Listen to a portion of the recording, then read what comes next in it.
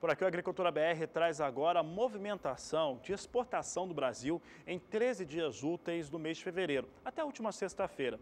De acordo com a Secretaria de Comércio Exterior, o volume embarcado com milho nesse período é baixíssimo. É um volume bem baixo se comparado se comparar ao ano passado. Fevereiro do ano passado, o Brasil exportou mais de 5 milhões de toneladas. Até o momento, você passa ligeiramente da marca de 300 mil toneladas. Os motivos são claros. Um deles é, primeiro, não haver milho no Brasil, não há milho para exportação. Segundo, é que realmente os portos vão destinando a maior parte da sua área para os embarques com soja.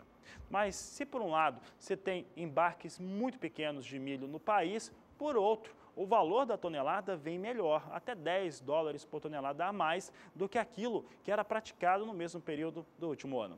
Vamos saber então como é que vem essas exportações brasileiras, 13 dias úteis do mês de fevereiro, de acordo com a Secretaria de Comércio Exterior. Em fevereiro de 2017, olha como o número é baixo, são 374 mil toneladas que foram embarcadas. Em janeiro deste ano, foram 1 milhão 450 mil toneladas. Você pode observar que é praticamente inviável que mês de fevereiro consiga igualar com o último mês. Agora, fevereiro de 2016, olha que número, como ele chega bem elevado. 5 milhões 374 mil toneladas foram embarcadas em fevereiro de 2016. Era aquele momento que tinha é, toda aquela efervescência pela, é, com a demanda brasileira de milho. O Brasil exportou muito milho no ano passado, né, fazendo com que os estoques nacionais ficassem muito baixos. Bom, se por um lado nós temos essa situação aqui de uma queda muito vigorosa em relação ao volume embarcado de milho do país, evidentemente aquilo que é faturado pelas tradings também caiu. Vamos aos dados, então, dados em relação ao milho, fevereiro de 2017 com 66 milhões e 800 mil dólares até o momento, são 13 dias úteis, ainda faltam pelo menos mais 7 dias para computar.